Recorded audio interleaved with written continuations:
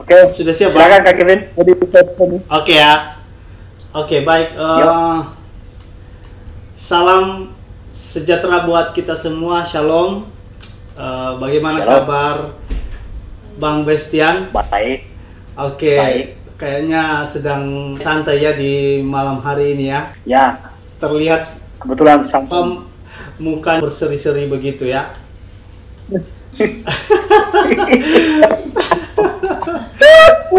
Oke. Ya, ya, ya. Oke, Bang, ini sebenarnya eh, channel ini kan membicarakan tentang dunia pendidikan.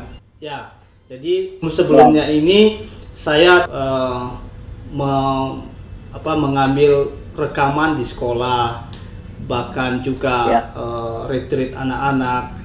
Nah, itu seputar kegiatan pendidikan. Nah, oleh sebab itu Ya. saya berpikir bahwa eh, channel ini tidak akan berkembang kalau tidak ada sesuatu yang wow ya bisa dikatakan seperti itu ya dan em, harusnya channel ini menjadi berkat bagi orang lain termasuk eh, Betul, betul. anak-anak peserta didik dan bahkan juga mungkin eh, bagi teman-teman guru ya nah oleh sebab Ya, itu orang Ah, makanya malam ini saya sedang sekali bisa berdiskusi dengan Bang Bestian yang ah, ya boleh dikatakan lah salah satu ya, narasumber ya malam hari ini. Nah, Oke. oleh sebab itu ini hanya eh, seputar eh, kehidupan sehari-hari aja, Bang.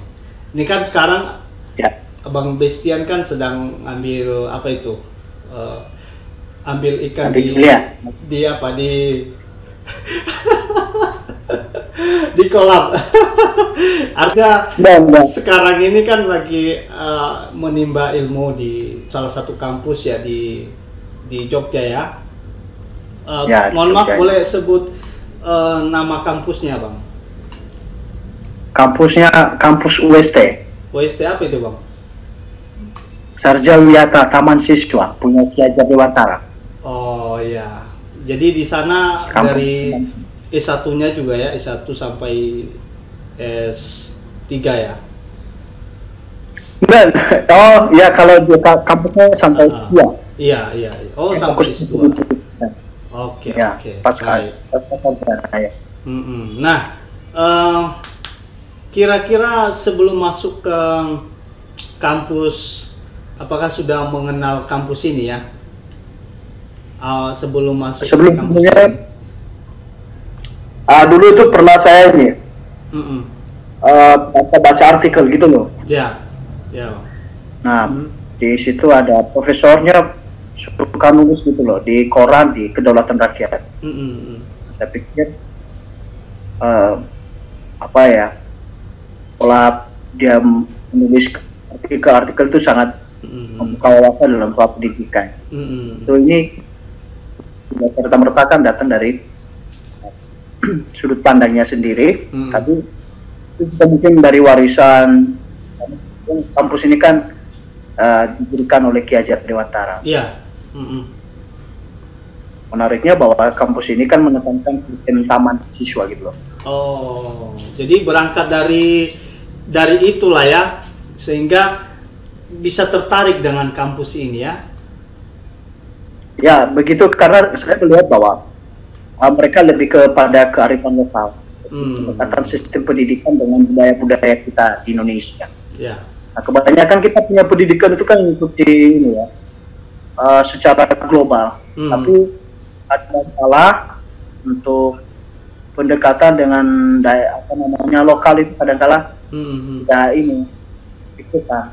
Tetapi kampus ini lebih mengarahkan kita ke sana, Hmm. gimana kita punya kedaulatan sendiri terhadap pendidikan itu. Hmm. Kita punya karakter sendiri, kita punya jati diri sendiri. Ya. Jadi kita mengembangkan pendidikan berdasarkan ya budaya kita sendiri. Hmm. Oke oke. Nah, Jadi itu sih. oke. Ya jadi di situ memang eh, misalnya kalau kita kan lebih banyak apa nuansa kekristenan. Nah, kalau di kampus Oh, ini betul-betul umum. Umum ya. Ini betul-betul umum. Umum ya. Kebetulan nah, saya ya. nasionalisme memang cukup kuat ya di sana ya.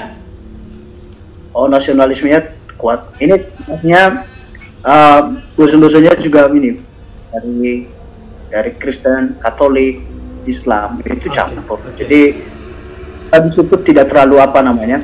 Ini kan kampus kebangsaan, jadi siapa pun yeah. dari agama apa pun bisa masuk. Oke, okay. kira-kira saya cocok nggak direkomendasikan ke sana? Uh, tergantung, kecuali kalau sudah profesor ya, kelihatannya cocok. Oke. Karena rata-rata profesornya profesor. Tapi kira-kira dari mukanya meyakinkan nggak? kalau mukanya meyakinkan, tapi nggak tahu ilmunya yakin atau enggak. Ya. Itu dia ya. ya. Oke bang, jadi uh, saya kira sudah memberikan banyak, uh, eh, satu hal pengalamannya bagaimana memilih kampus begitu ya. Jadi mungkin ya, alasan yang tadi kenapa saya memilih itu karena beda kalau universitas negeri ya. ya. Kalau universitas negeri itu biasanya mereka langsung S1 masuk S2. Hmm, hmm, hmm. Karena jalur mahasiswa atau prestasi gitu. Hmm, hmm. Tapi kalau ini bagi mereka yang sudah kerja kayak kepala hmm. sekolah, hmm. pengawas hmm. orangnya kepala apa namanya uh, kepala sekolah guru hmm. dari uh, Katolik yeah. Kristen Muhammadiyah itu bisa sambil kuliah jadi menarik teman kita kelas ada mereka yang masih jadi guru kepala sekolah jadi di kelas itu kita tidak lagi ini bengong Oh. Karena kita berhadapan dan sama dengan mereka ya itu dalam dunia pendidikan. Iya, ya, yang memang sudah banyak pengalaman ya di lapangannya langsung ya. Ya. Jadi ilmu tentang pendidikan kita bisa tanya-tanya mereka. Kayak aku gini kan baru belajar. Hmm. Tapi Jadi, so, sorry mau tanya, karena uh, yang sekarang kita sudah tahu ya secara umum kan kalau dia berasal dari eh, apa kampus teologi maka ruang lingkupnya pun dia tidak bisa ke mana-mana. Dia menjurus ke e, kampus yang berbasis teologi juga. Nah kenapa kok ya. kira-kira bisa istilahnya e, tidak melanjutkan me mengambil S2 yang berbasis e, seperti S1 begitu bang? Ya, ya alasannya sih Kak Kevin begini. Jadi kan saya kan ngambil jurusan pendidikan agama. Iya. Nah, sementara saya ini kan punya hati untuk bisa mengelola pendidikan Kristen itu. Mm -hmm. Jadi bukan hanya sebagai pengajar, tapi bagaimana mengelolanya. Mm -hmm. Jadi menjadi dilihat dari perspektif iman Kristen, yeah. kita, yeah. Nah, tentu kita nggak bisa masuk ya kalau guru agama langsung jadi pengelola atau mm. sebagai um, apa namanya HRD ya. Mm-hmm. yang bisa itu apa mengelola ini sarana sarana siswa kurikulum sebagainya. Nah perlu kita kan belajarkan namanya manajemen manajemen pendidikan. Cara umum bagaimana nah itulah sebabnya saya pikir untuk belajar ilmu lain itu menurut saya tidak jadi masalah. Justru kita lebih banyak uh, banyak ilmu gitu loh lebih yeah. luas jangkauan kita juga lebih luas gitu loh. Ya, yeah, betul. Alasan-alasannya. Ada ya, satu arti kehidupan mungkin ya. Long life education. iya, Bang. Harusnya kita belajar seumur hidup. Iya, itu. Jadi belajar itu memang betul, Bang. Belajar itu memang seumur hidup dan tidak akan pernah berhenti sekalipun kita sudah tua loh. Banyak ya. orang bilang kalau sudah tua nggak bisa belajar lagi. Sebenarnya belajar kalau sudah nenek-nenek kakek-kakek bang dia bisa belajar. Dia belajar lagi untuk jalan gitu kan? Ya. Biar agak agak cair ini ya suasananya. Oke okay, bang. Uh, mungkin sampai di sini uh, sekilas uh, pengalaman dari bang Bastian. Saya akan akhiri dan mungkin ada satu statement yang bisa membuat uh, sesuatu hal yang baru buat kita semua bisa ya. juga para penonton yang melihat channel ini bisa terberkati begitu bang close ya. statement eh, pertama-tama ya uh, ada saya berpikir begini bahwa ketika kita uh, mencari ilmu menambah ilmu itu kan hmm. ujung-ujungnya itu kan untuk supaya kita berdampak bagi orang lain Mhm. jadi ilmu tanpa kemanusiaan adalah sebuah kejahatan Ya. jadi buat apa kita punya ilmu tapi tidak punya kemanusiaan Ya. kehidupan untuk berbagi berdampak bagi orang lain Baik. maka dari segalanya itu kepedulian kasih itu menjadi kunci utama Mhm. Ya. kilau Oke. mengembangkan ilmu Baik, ya mungkin eh, ada bagian dari firman Tuhan mungkin bisa menyejukkan juga teman-teman. Sekalipun pandemi corona ini, ya, tetapi ada sesuatu hal yang menyejukkan mereka, terutama teman-teman yang eh, di dalam perkuliahan, supaya mereka juga diberikan kekuatan semangat. Oke, yang pertama bahwa tidak ada secara kebetulan di dunia ini. Sebagai orang yang beragama, Ya. kita punya Tuhan.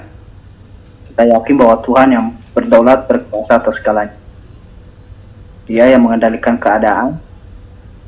Dia yang berkuasa atas semuanya. Baik, Kita bisa mati, kita bisa hidup. ya. Itulah dasar yang teguh kita. Ya, oke Bang.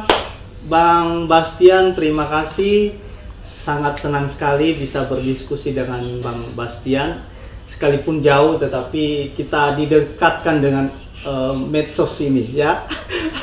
Mudah-mudahan di waktu yang akan datang bisa kita berdiskusi lebih banyak, lebih hangat, lebih cair, sehingga em, banyak hal yang kita bisa dapatkan dari eh, Bang Basti. Iya. Oke, terima kasih Ya, Basti, ya. aja.